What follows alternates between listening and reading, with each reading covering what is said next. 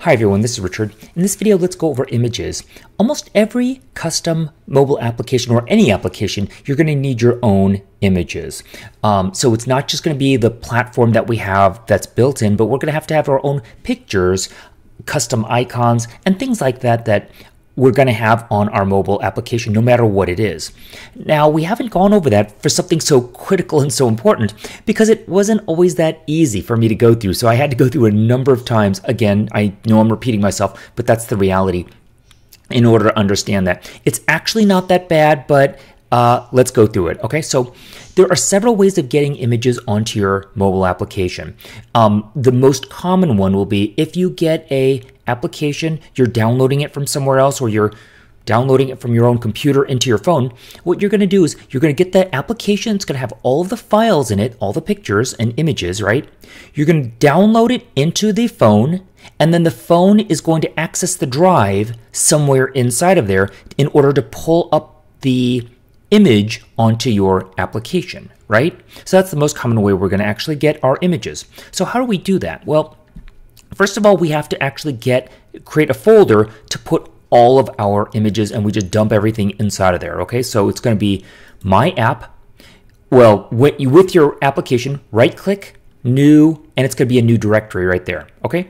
Create the new directory and call it assets, or you could call it anything you want images, pictures, whatever you want. And you just dump all of your pictures inside of there. Um, Flutter supports PNG, JPEG. I'm blanking on the types. Um, the, most images that you can put inside there, it's going to be able to support. Okay. I just can't think of any other um, image type at this point in time. Um, once you do that, you have to go down pubspec.yaml.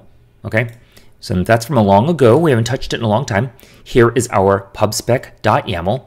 And then we go down under Flutter, it's going to say assets. Okay, um, this is going to be um, have the pound sign. Remove the pound sign and notice the indentations because that's important. Flutter is all the way to the left. Uses material design is indented. Assets is along the same line. Assets, by the way, it is not the same name as this folder here. It's just called assets. That's what just Flutter calls it. This right here is the name of the folder. Okay, so if you called your folder images or pictures or stuff here, um, you're going to put the name of the folder right here, slash, and the name of all of the images. And they're all separated by the, notice the dash right there, dash, new line, it's going to be dash assets slash next picture dot png and so on. And just put them all inside of there and go ahead and save it. Okay? Then when we go to the main, then we're done and we can actually access the information. So this is going to be simple and straightforward just because, you know, we're, we're still learning right inside of here. Um, simple. First app, it's going to be a stateless widget image image app new scaffold and I'm going to put it in the center. I'm going to put it in a, in a container so the container will show where it is and I'll give it a certain height and as the child I'm going to put a picture widget and here is the picture widget. Now remember when I mentioned it sometimes you have certain um, widgets and you have to attach them to a parent widget, right? So you can't just get um, asset image and you can't just throw it into the container itself. Or you can, but it doesn't actually work very well. And so you almost have to put it with particular parent widgets. I think we've review, reviewed that several times. In my mind, this is almost like, I hate to get a little bit philosophical, but, but it's sort of like a, um, a molecule. Okay, so I like to think of in the level of a molecule. For so for if you don't know what a molecule is, um, a molecule is the lowest amount, the smallest you can break down a substance before it stops becoming that substance. Okay, so for example, water is two parts hydrogen atoms and one part oxygen. You can break it down to a molecule, but if you break out the hydrogen parts from the oxygen, it no longer becomes water. Okay, it's no longer H2O, it becomes hydrogen and oxygen, which have completely different characteristics from the water. Okay, so that's what a molecule is. silly tangent.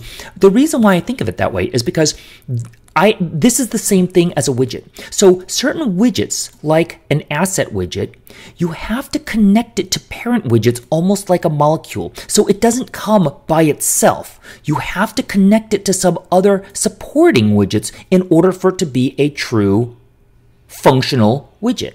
Okay, so this is the smallest I can actually break out the um, image that we're going to import into our system.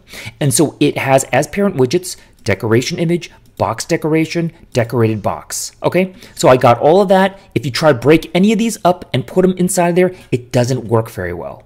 All right, so what I'm going to insert inside of here, stateless widget, return decorated box. So what is decorated box? Decorated box is the thing in which you're going to go ahead and put the image itself. So it's going to be basically the specifically a container specifically for an image. All right.